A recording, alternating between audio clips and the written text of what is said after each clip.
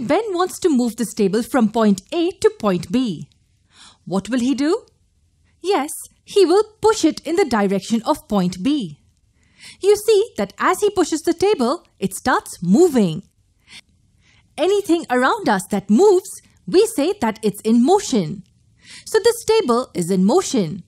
And since Ben is also moving along with the table, he is also in motion. In our day-to-day life, we see various things moving around us. Simple examples that I can give are vehicles moving on the road, people walking across streets, birds flying in the sky, and so on. Do you know that the Earth and the other planets also undergo motion? Yes, they are revolving around the Sun. You can give me thousands of such examples of motion. But what if I ask you to tell me the definition of motion? How can we define something as intuitive as motion of a body? Well, for that, we need to look at what exactly happens to a body when it's in motion. Let's say this vehicle moves from point A to point B. You see that as it's moving towards B, its position in space changes with time. Initially it was here, then here, and now after some time it's here.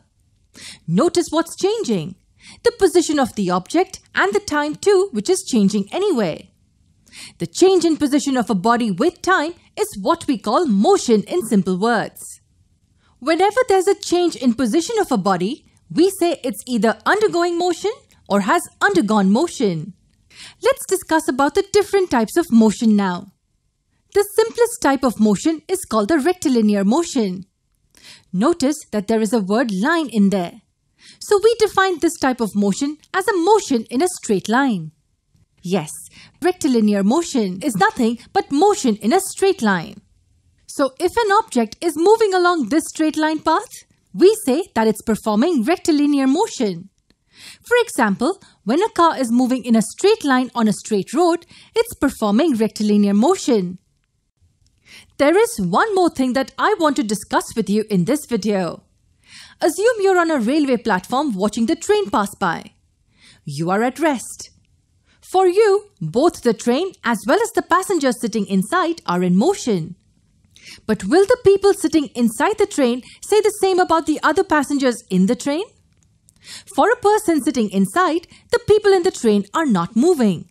They are at rest. So for the observer at rest on the platform, the people inside the train are moving but for the person sitting inside, they are at rest.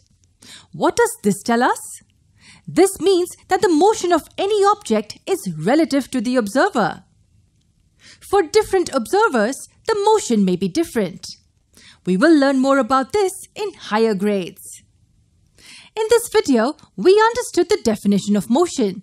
We also discussed one of the types of motion called rectilinear motion. In the next video, we will see a few other types of motion.